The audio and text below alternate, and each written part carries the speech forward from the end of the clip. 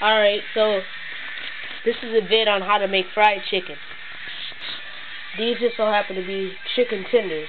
Uh, but I've already seasoned them. I just used some soul food seasoning and some pepper. I just not I just don't happen to like their pepper that they put in there. Okay, so I'm gonna start off a little flimsy little piece right here. There's one right there.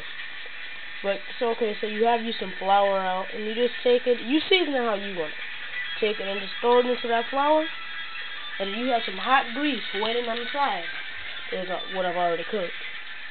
And then you just take it and you just throw it off into the grease.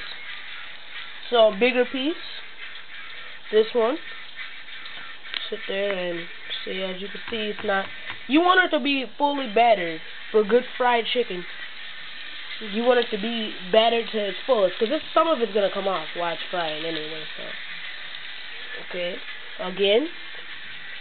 Get there and just throw it off into that good old flour. And there you go. You just take it, throw it off into there again. Now I should have how you know when it's done is you just you just grab it like this, right? And you should be able to look at it and see the, the crispness of it. See how it's nice and crisp? Hey, I've been cooking for going little over four. No, actually, no, it's been longer than I've been cooking since I was about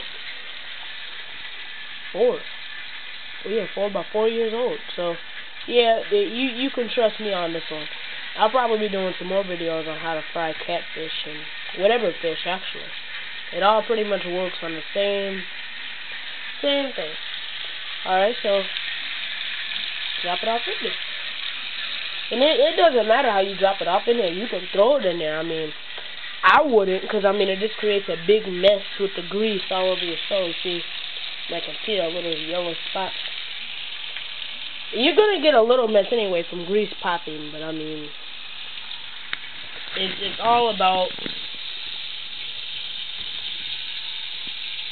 being clean that matters. Be as clean as you can.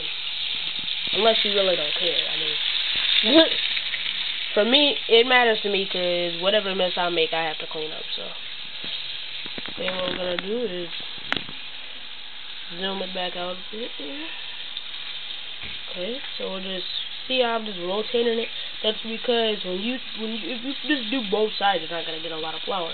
You want that flour to stick in those little spots. Take it and see like just smother it off into there bit. And then you can just take it and now if it doesn't go all the way in, that's not a problem. Cause see, sooner or later the grease is gonna roll up. And there you go. so this is what I've already cooked. Got a bit of barbecue sauce, bit of spicy hot sauce that I've actually made myself, bit of barbecue sauce. Yeah, so pretty good chicken. Uh, tomorrow I'll be doing a video on snow plowing. How how you know how to snow plow and how to snow plow. With my tractor, I got that plow fitted for people who have been watching my other videos. So, yep, it's good to go. Alright, sorry now, just tune in. Subscribe, please.